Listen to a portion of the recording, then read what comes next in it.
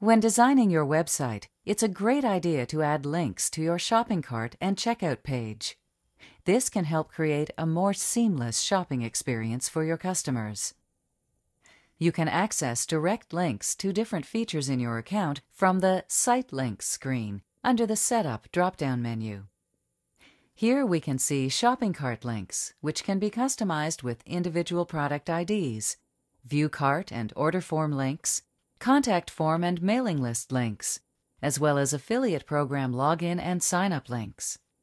Any of these links can be copied and pasted into your website. You can test each link to see exactly where your customer will end up. Let's copy the Checkout or View Cart URL and paste it into our web page HTML using a program such as Dreamweaver.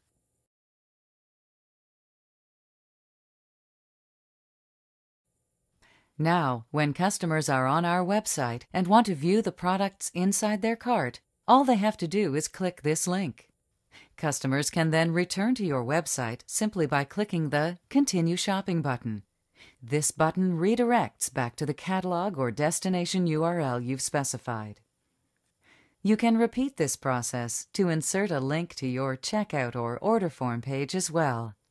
Simply copy the order form URL from the Site Links screen and paste it into your web page.